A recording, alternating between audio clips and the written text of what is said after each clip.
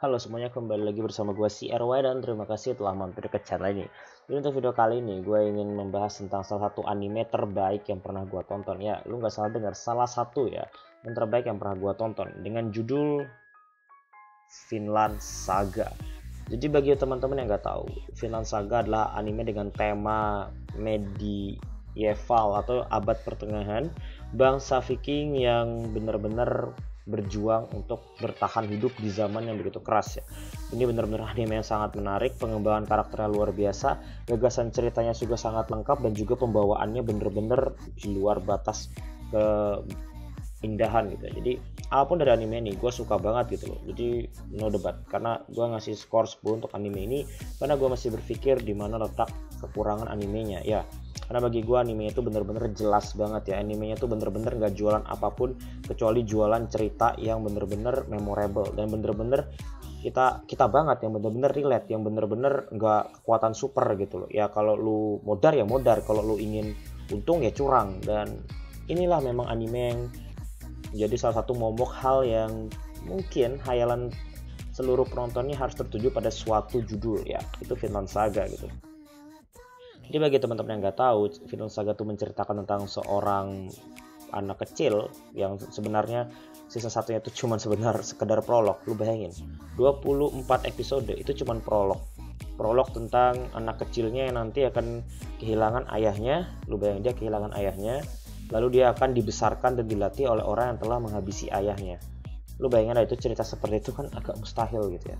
Harusnya itu ceritanya itu dia melawan orang yang mengalahkan ayahnya dan emang dia lakukan dengan cara dia menjadi bawahan dari orang tersebut. Memang cerita yang sangat aneh sih. Dipikir-pikir ini kenapa pemuda ini tuh begitu bodoh gitu. Gue juga berpikir seperti itu.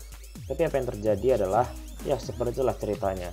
Dan apakah ini akan menarik dan apakah nanti akan terbalaskan itu anda nikmati sendiri karena emang cerita ini tuh banyak sekali mendeskripsikan hal-hal yang sebenarnya ingin sekali kita sebutkan di dunia nyata gitu ya. Mungkin sebuah agama rasis, sekte dan sebagainya itu benar-benar belak-belakan dalam anime ini. Mungkin pengarangnya pengen ucapin itu dengan cara yang sangat luar biasa gitu ya sangat berestetika gitu.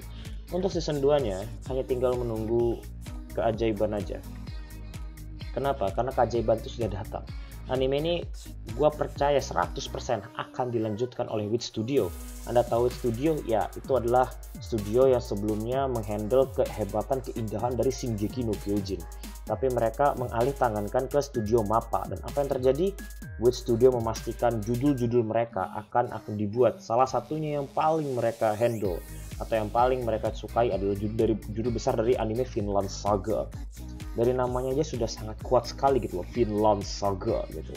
Jadi apa sih yang harus dilakukan untuk mengantisipasi judul berikutnya? Tentu saja adalah dengan memastikan karya ini tuh sukses di pasaran. Season satunya sukses besar biarpun jatuhnya underrated. Karena bagi gue penontonnya itu sedikit banget. Tapi menurut gue pribadi kalian yang belum pernah menonton anime ini mending siap-siap kecewa.